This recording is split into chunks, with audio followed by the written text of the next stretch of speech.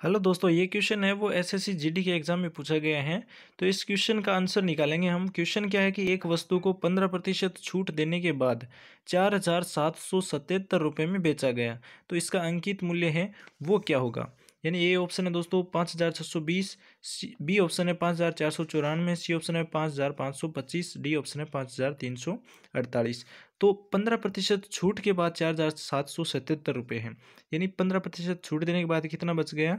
पचासी प्रतिशत बच गया। तो चार हज़ार सात सौ सतहत्तर क्या है? पचासी प्रतिशत है। हमें निकालना है अंकित मूल्य। अंकित मूल्य कितना था? सौ प्रतिशत था। सौ प्रतिशत निकालेंगे ये सत्रह बार। और ये बीस बार कट जाएगा पाँच से। ओके? सत्रह का भाग देंगे चार हज़ार सात सौ सतहत्तर में तो ये जाएगा दो सौ इक्यासी बार और दो सौ इक्यासी को मल्टीप्लाई कर देंगे बीस से। तो इसका आंसर आएगा पाँच हज़ार छः सौ बीस। पाँच हज़ार छः सौ बीस है ए ऑप्शन तो इसका करेक्ट आंसर होगा पाँच हज़ार छः सौ बीस रुपये जो अंकित मूल्य है।